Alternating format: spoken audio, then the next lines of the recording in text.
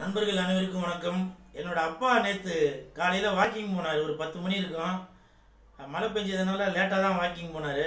Walking போனவர் இன்னும் திரும்பி வரவே இல்லை. இருபத்தி நாலு மணி நேரத்தை தாண்டிடுச்சு என்னோட அப்பாவின் பெயர் முத்தையா.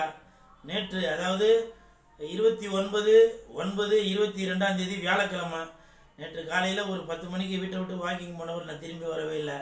நாங்களாம் என்ன ஆச்சுன்னு பதறி போயிருக்கோம். அப்பா நீங்கள் எங்கே இருக்கீங்க? அதுவும் இல்லாமல் என் அப்பாவுக்கு வந்து எண்பத்தி நாலு வயசாகுது. வ- வயசானாலே காது கொஞ்சம் கேட்காது இல்லையா? வய வயது முதிர்வின் காரணமாக அவருக்கு வந்து கொஞ்சம் காது கேட்கும் திறன் கம்மியாயிருச்சு. அது மட்டும் இல்லை எண்பத்தி நாலு வயசில் உடல் சோர்வு தான் இருக்கும் இல்லையா?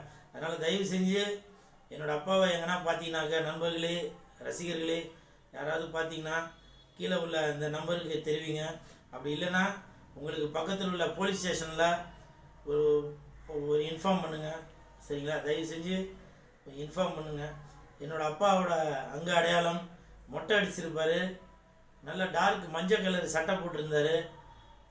ப்ளூ கலர் கட்டம் போட்டிருந்தார். லுங்கி கட்டியிருந்தாரு. கையில் ஒரு மஞ்சள் கலர் குடை ஒன்று வச்சுருந்தாரு. காணாமல் போன அன்னைக்கு இதெல்லாம் தான் அவர் போட்டிருந்தாரு. தயவு செஞ்சு நண்பர்களே யாராவது பார்த்தீங்கன்னாக்கா எங்களுக்கு தெரிவிங்க. அது மட்டும் இல்லை விளையாடுறதுக்காக விளையாட்டுத்தனம் பண்ணுறதுக்காக இந்த விஷயத்தில் யாரும் விளையாடாதீங்க. கொஞ்சம் உண்மை தகவலை மட்டும் தெரிவிங்க. அப்படி இல்லையா? பக்கத்தில் உள்ள போலீஸ் ஸ்டேஷன்லையாச்சும் தெரிவிங்க. எங்கள் அப்பாவை கண்டுபிடிச்சி கொடுங்க. நானும் ஸ்டேஷனில் கம்ப்ளைண்ட் கொடுத்துருக்கேன். இருந்தாலும் நம்மளோட முயற்சியும் பண்ணணும் இல்லையா? அதனால் இந்த சோஷியல் மீடியா மூலமாக உங்கள்கிட்ட தயவு செஞ்சு கேட்டுக்கிறேன். தெரிவிங்க.